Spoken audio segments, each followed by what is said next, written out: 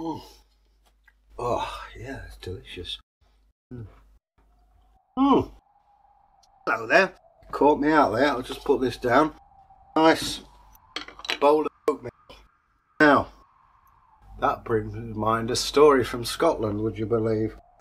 And yeah, porridge is quite popular in Scotland, although apparently it was brought over by the Romans, but who knows, who cares? Fact is, it's delish. And a nice drink as well. So, why don't you just sit back, relax, get yourself a drink or something nice to eat, or both, and while I tell you the story of the farmer's wife of Lothian. Scotland is a beautiful place, full of graceful hills and beautiful scenery, clear lochs that you can see to the bottom of.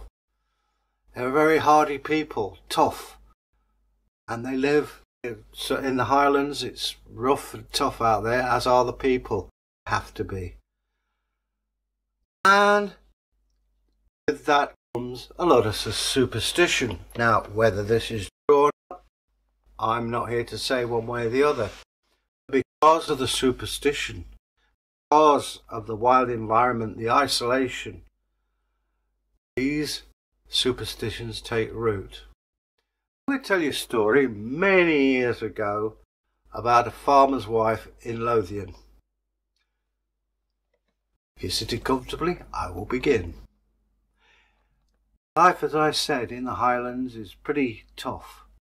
And the people who live there are equally tough, working day in, day out, and the farm life. Not easy.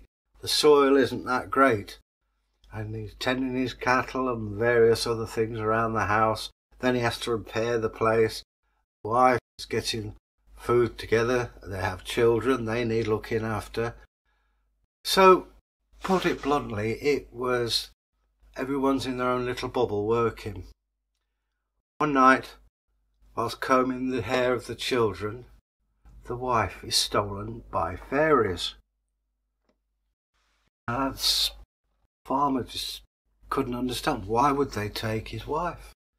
She's a reasonable woman like any other. She isn't anything special.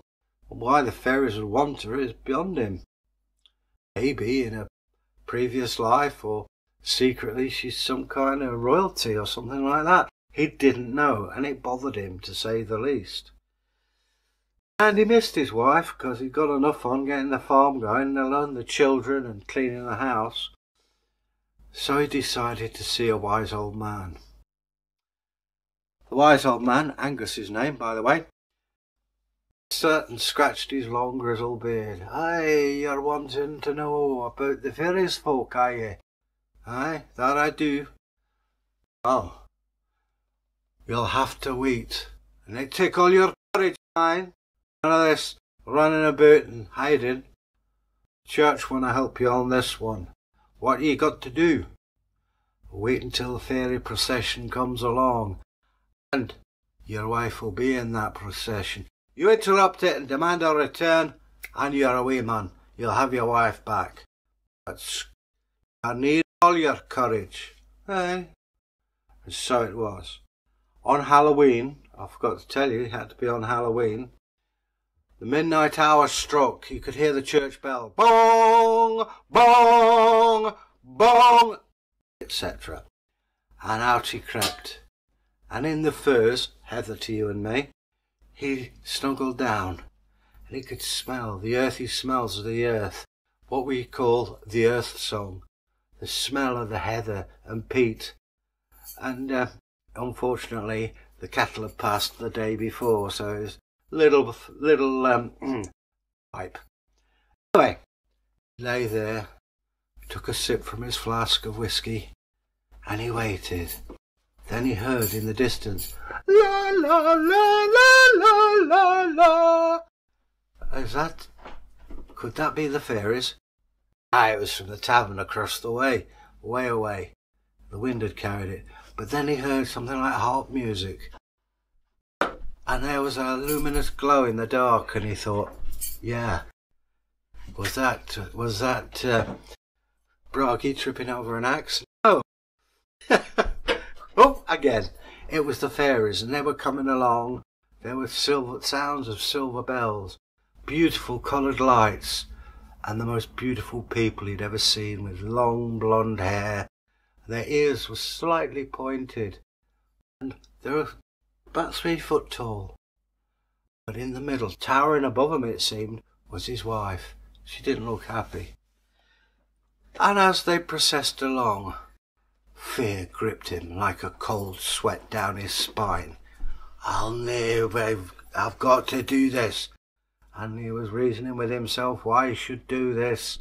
But by the time he got there, it had almost passed.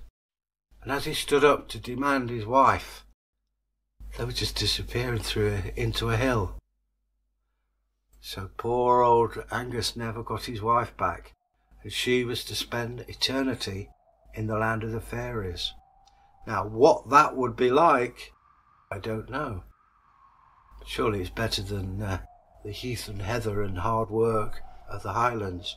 May be wrong. But next time on Halloween, if you hear tinkling of bells, it's the fairy procession. So, on that, I shall raise a toast to the little folk. Blessings. And I shall wish you all a happy, prosperous time. Till we meet again. Bye.